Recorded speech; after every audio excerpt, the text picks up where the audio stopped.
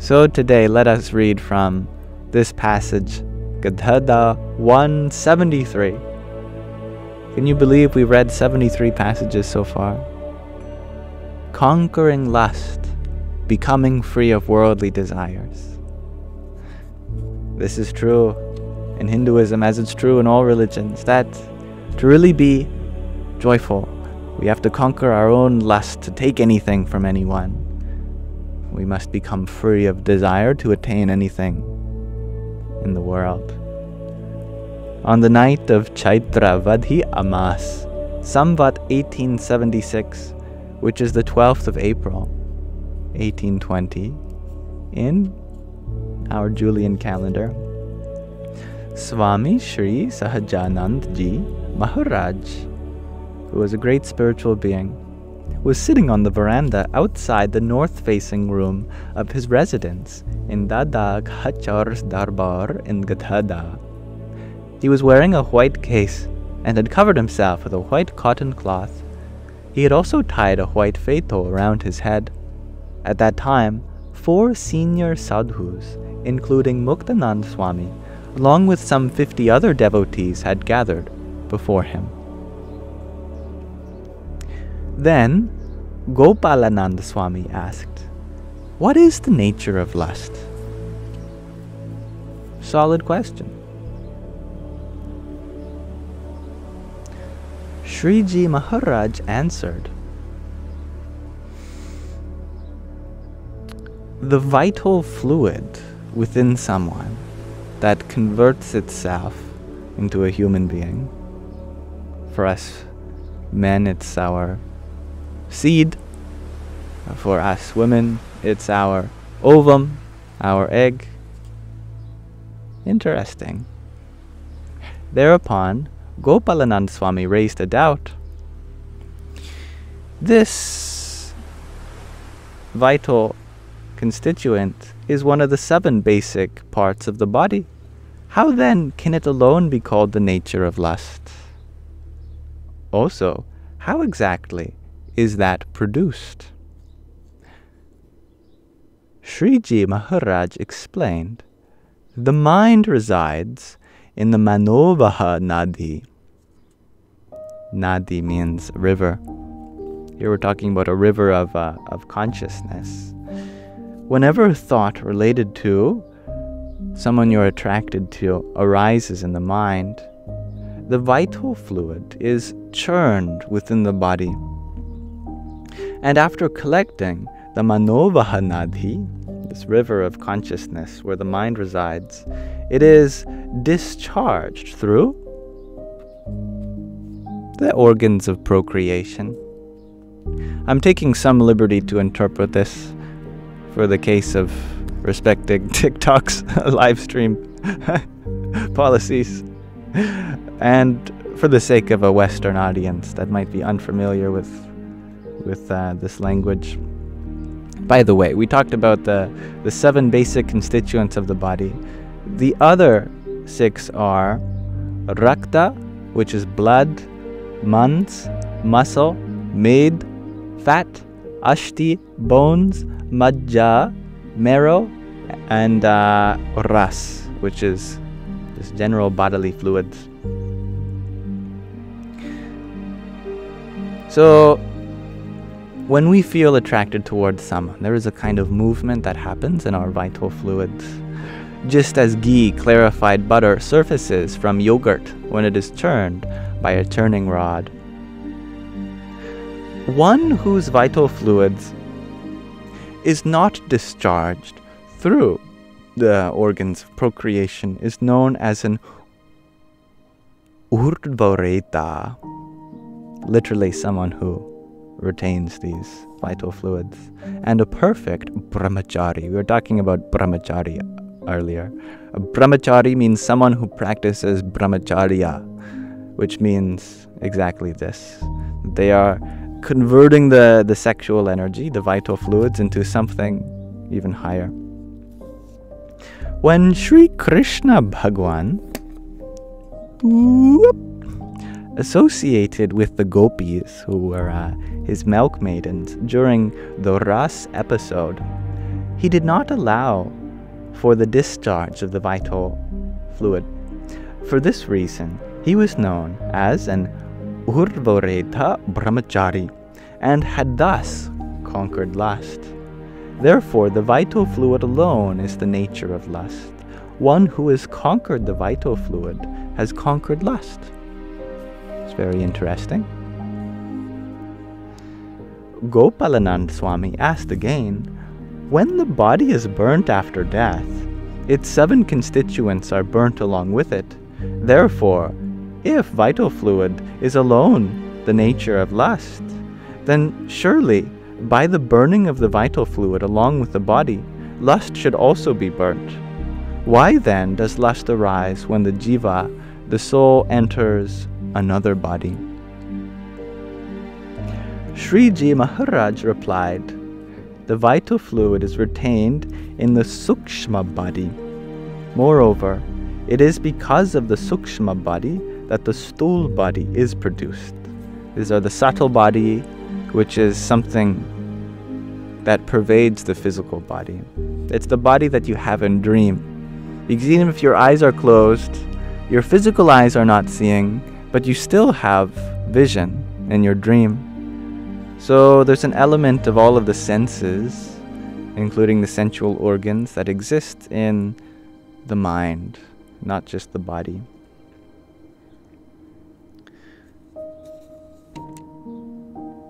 When a ghost, which is mainly composed of a sukshma body, a subtle body, from its own sukshma body, enters into the sthul body, the subtle body enters the physical body of another person and associates with someone they're attracted to, that person they're attracted to conceives a child with the help of you by that ghost. Mm, I've never heard of this. That's a concept. Wow.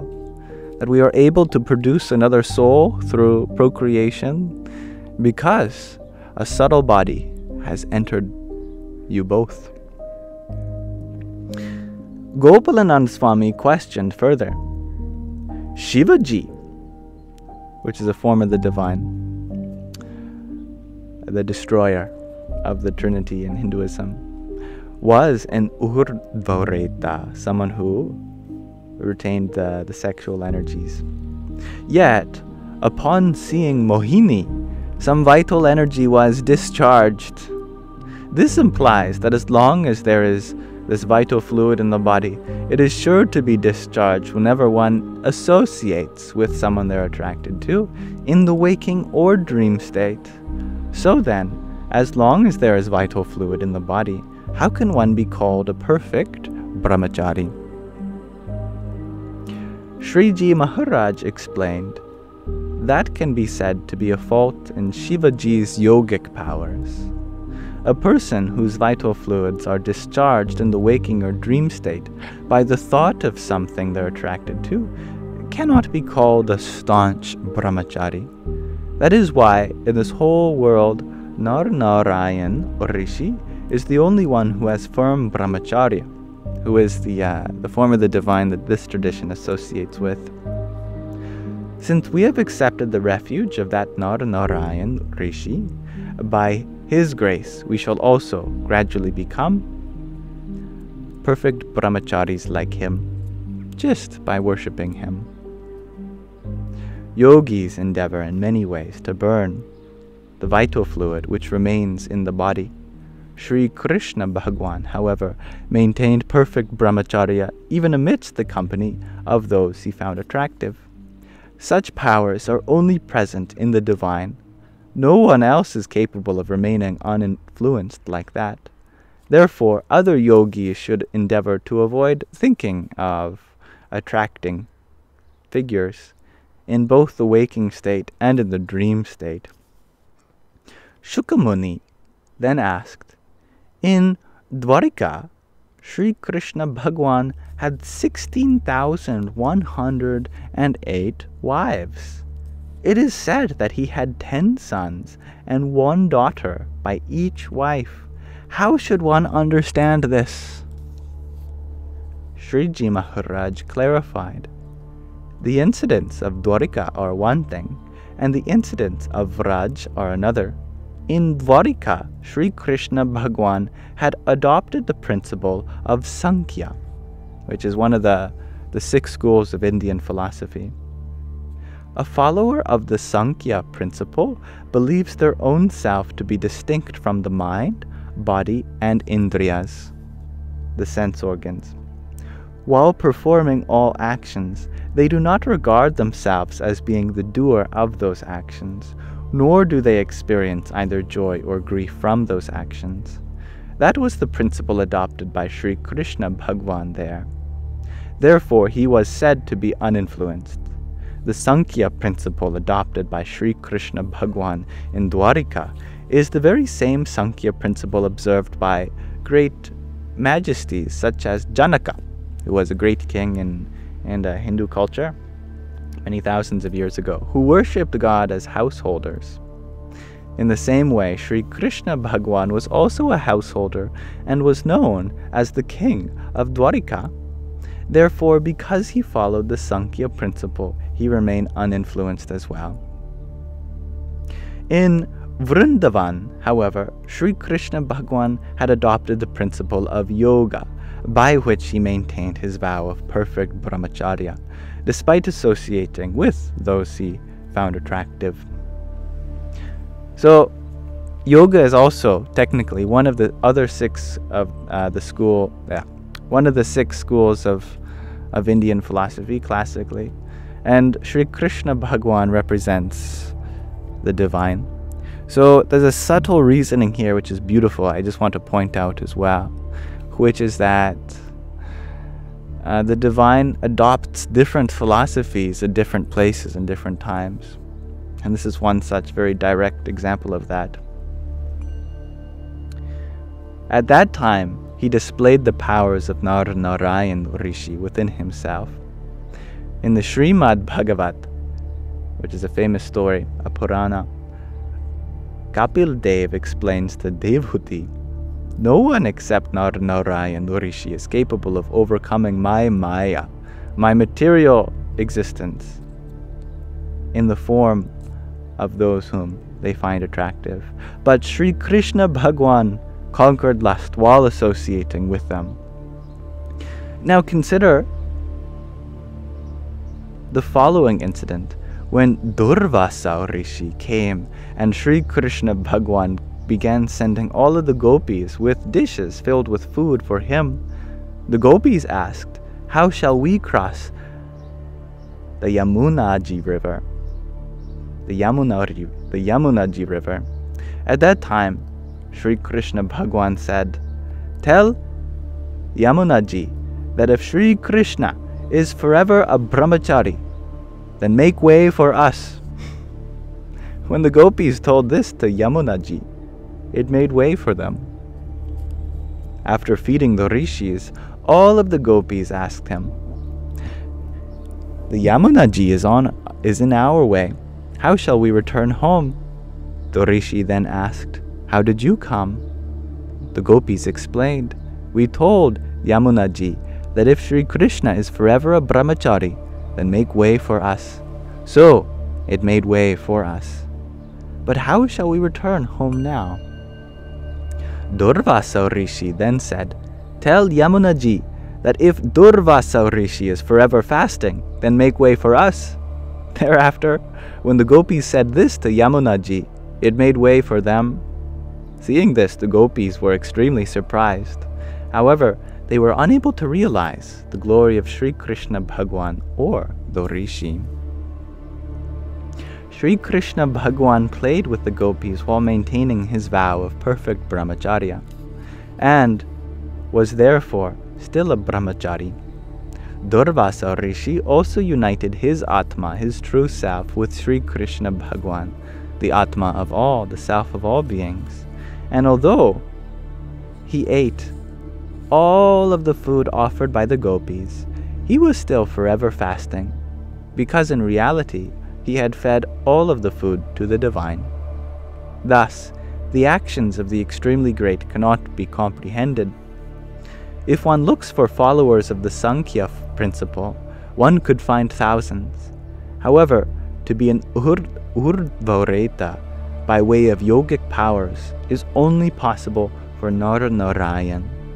In addition, a true devotee of Nar Narayan can also gradually develop firm brahmacharya by the power of their worship, but others cannot. Furthermore, if vital fluid is discharged through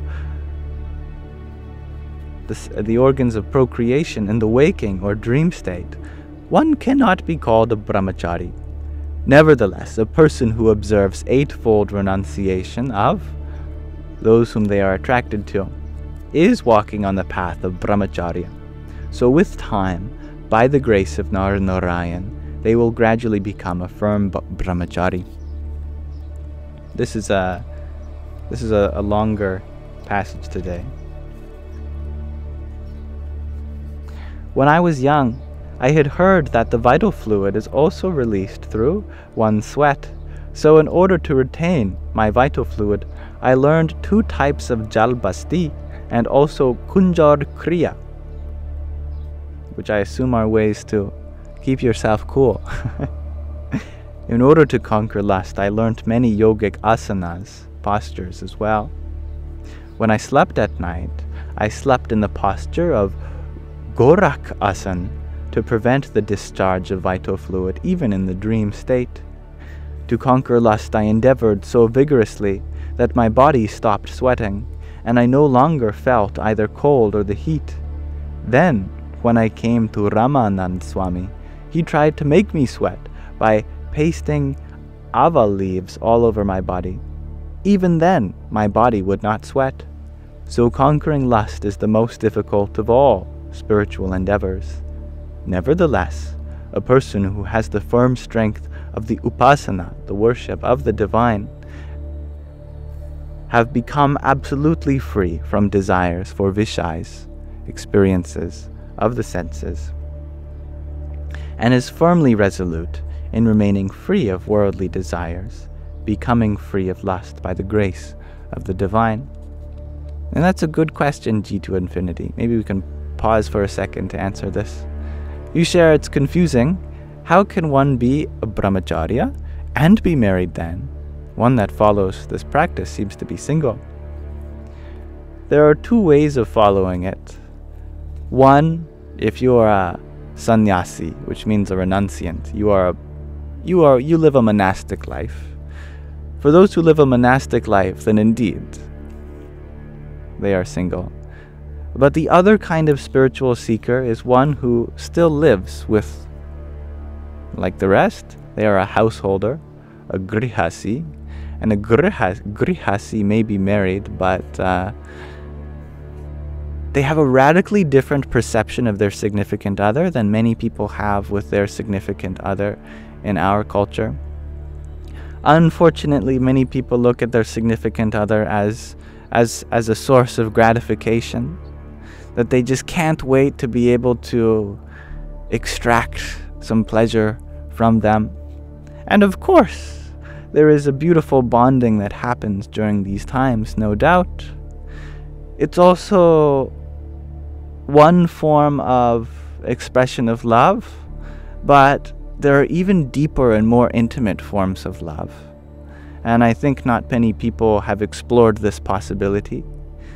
But for a brahmachari who is also a householder, someone who may be married even, they are constantly exploring ways to to have a love with their significant other that's so much farther than than just what can be experienced by the body alone. In other words, a man looks at uh, at their significant other. Let's say it's a man and woman. The man looks at the woman with with a kind of reverence. There's just the divine feminine in front of them. Uh, it doesn't matter if you are a man or a woman. If you have the feminine in front of you, then see that as the divine feminine.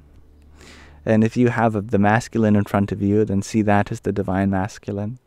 The goal for brahmachari householders is to see each other as a form of the divine. Thus, we literally do our puja, our reverence at each other's feet. For example, Ramakrishna Paramahansa, who indeed had a significant other, whenever he wanted to worship his Ishta Devata Kali, he would go to her and he would touch her feet. And he would literally meditate in front of her because her was she was the divine to him. And so he meditated on her. And uh, that is a kind of intimacy that that is so precious you know. That that instead of wanting to to uh, to touch you physically you know I want to sit across from you and meditate on my love for you. I want to, to just hold your form in my mind and appreciate you as the divine. So that is, that is the way which brahmacharya works for, for householders. I hope that maybe clears some confusion. Mind you, it's a very difficult thing to practice, of course. I continue. Thereafter, Nityanand Swami asked, What is the method of becoming free of worldly desires? It's the second part of this passage now. Is it through listening to such talks, or is it vairagya? Vairagya means dispassion, specifically for worldly things. Sriji Maharaj replied, Vairagya alone cannot last. Ultimately, it is destroyed.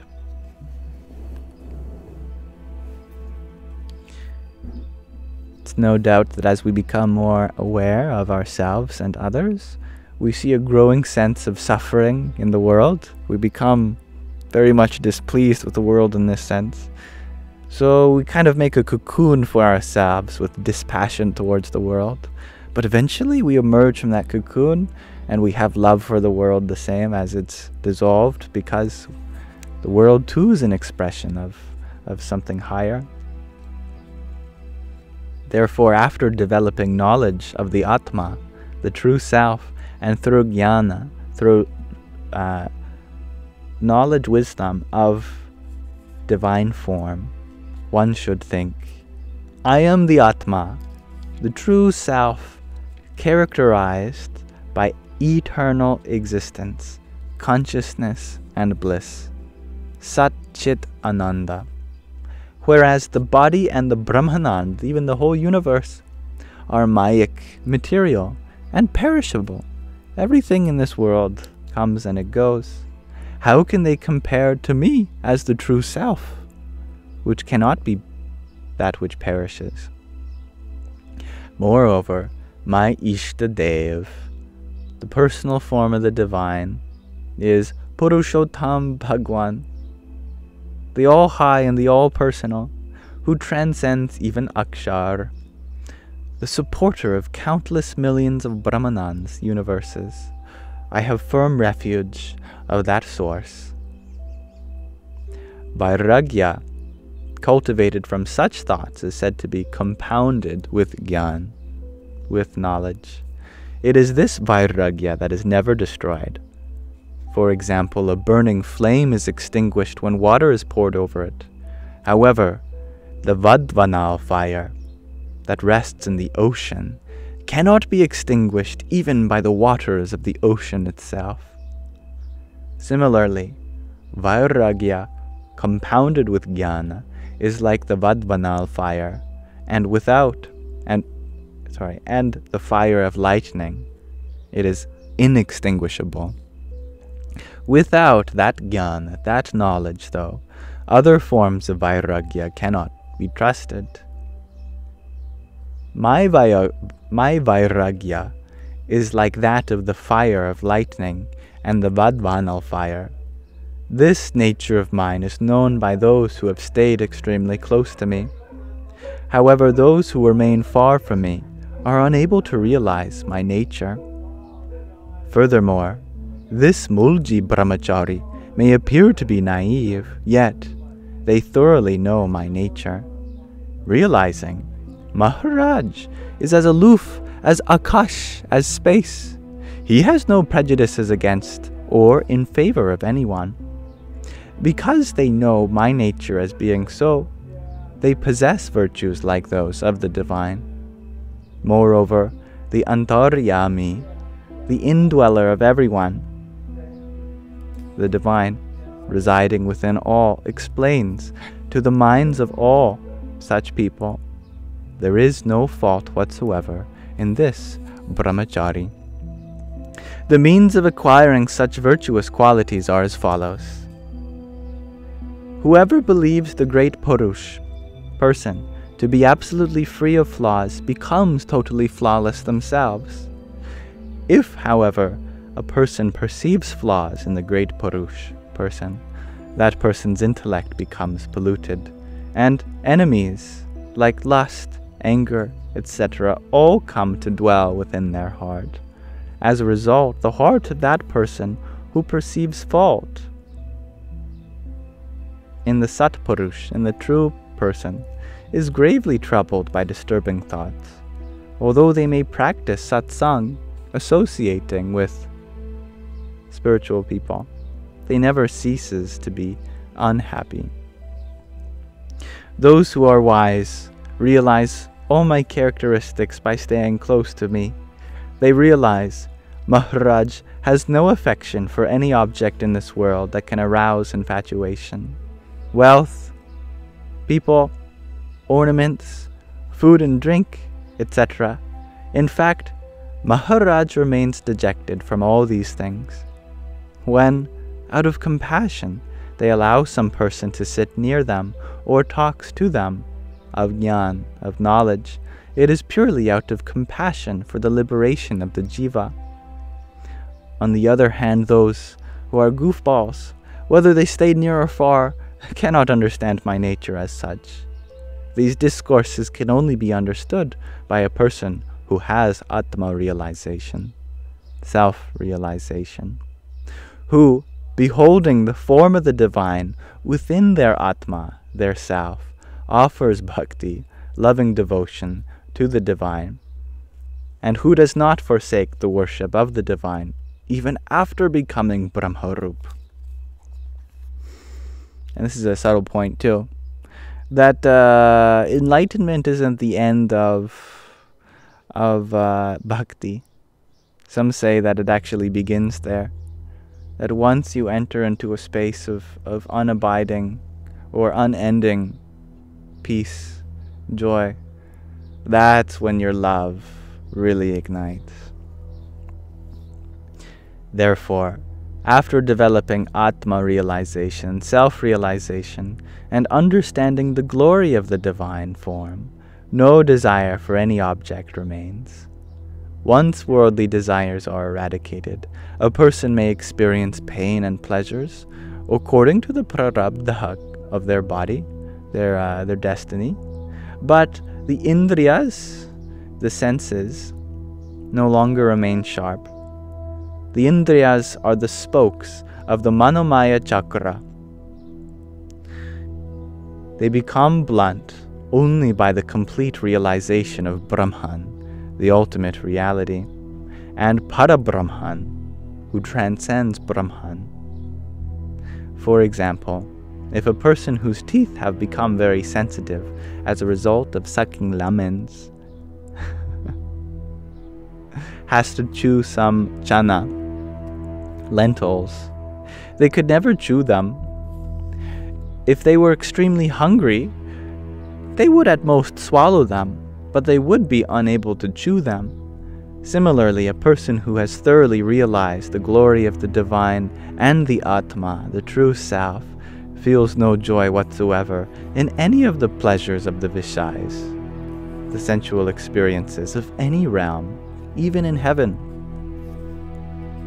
While the prarabdha, the, uh, the birthright of the body persists, they may indulge in food, drink, and other objects, but they would do so in the manner of a person with sensitized teeth swallowing whole chana.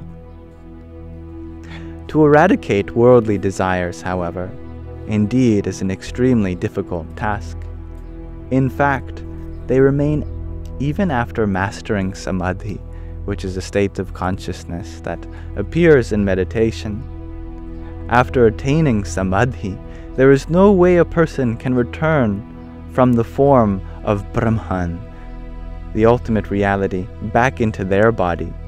Yet, if they do return, it is because of one of three reasons. Firstly, they return to their body from samadhi if they harbor desire for worldly pleasures. Or, if someone is extremely powerful, they can enter into samadhi and return to the body according to their own will. Lastly, if there is another person who is much more powerful than oneself, then that person can bring one back into the body from samadhi. There are three ways of returning to the body from samadhi, and those are them. When samadhi occurs, a person has the darshan, the presence, the divine witnessing of Brahman, the ultimate reality, and sees the divine light of Brahman to be like that of countless millions of suns. If, at that time, that person does not have much understanding, they regard the form of the manifest Purushottam Bhagwan to be inferior and believes Brahman to be superior, thereby committing a breach of upasana, of having reverence. That is why firm faith should be developed in the manifest form, because only then can all things be accomplished. I have also firmly resolved that in anyone who sincerely surrenders their mind unto me, and does not allow even the slightest barrier to remain between us, I shall not allow any flaw whatsoever to remain. That is the power of a, a spiritual teacher such as the speaker here. Sorry, not me, the speaker, the speaker in the book. Thereupon Muktanand Swami asked, What are the characteristics of a person who has surrendered their mind, and what are the characteristics of a person who has not surrendered their mind? Sriji Maharaj replied, If a person who has surrendered their mind to the divine is unable to be present while the talks of the divine are in progress, or for the darshan, the divine witness presence, of the divine, they experience intense remorse in their heart. Whenever they listen to the talks of the divine and do the darshan of the divine, their love for the divine continuously increases, but never does their mind recede from those talks and darshan. Moreover, when the divine gives a command to someone to stay far away, a person who has surrendered their mind would think to themselves, If that command were given to me, I would gladly go to Burhanpur or Kashi or anywhere else for that matter. A person who remains happy living according to the wishes of the divine in this way is near to me, even if they are a thousand miles away. Last paragraph. On the other hand, a person who has not surrendered their mind in this way is as good as being hundreds of thousands of miles away, even though they may be staying very close to me. In fact, I am afraid of giving advice to a person who has not surrendered their mind to me, as I fear, will they accept it positively or adversely? These are the characteristics of a person who has not surrendered their mind, and of a person who has not, who has and who has not. okay. Wow, that was a long one, hey? That's okay. I'm always happy to read these with you. So thank you for listening.